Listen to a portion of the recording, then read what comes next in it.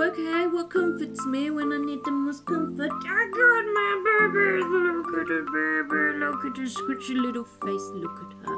Look at her beautifulness. How can you not? I love my rat babies. They they bring me comfort. they bring me a lot of comfort. So just, just look at her little face. It's just so cute.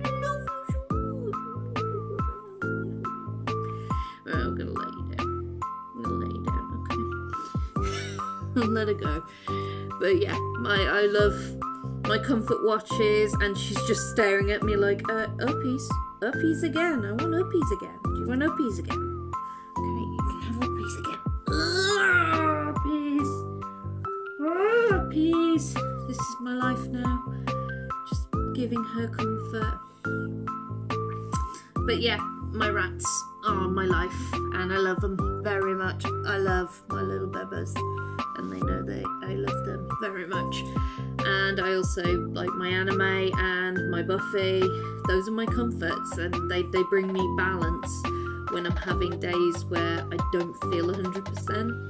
They bring me back to it, and you're just you you're just so cute. Yeah.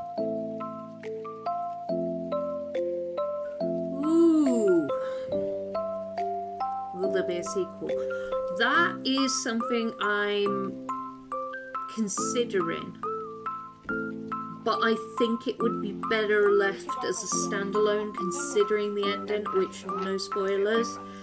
I definitely think it's better left as it is. Um, but it might be discussed in Worlds Collide because as if you read my books, you know that each story overlaps somehow into the Worlds Collide universe. Because I like my world building, that's my thing. But I think it's better left as it is. But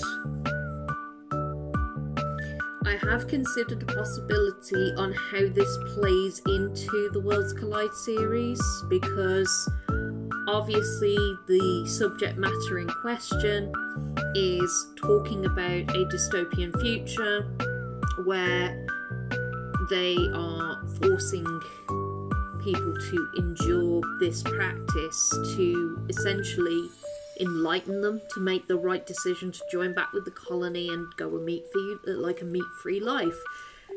But what does that mean if they're no longer eating meat? Like what does it mean for the animals? Because you have to bear in mind that sometimes like pigs cows the genetics that are involved with manufacturing them and changing their codes of dna there's got to be something in there that will change that. So there's an option of a sequel but i will see how this plays out first and I will um, let you know. But I have got a couple of projects on the go at the moment, so hopefully something else to mess people's brains up uh, will be coming from myself shortly. But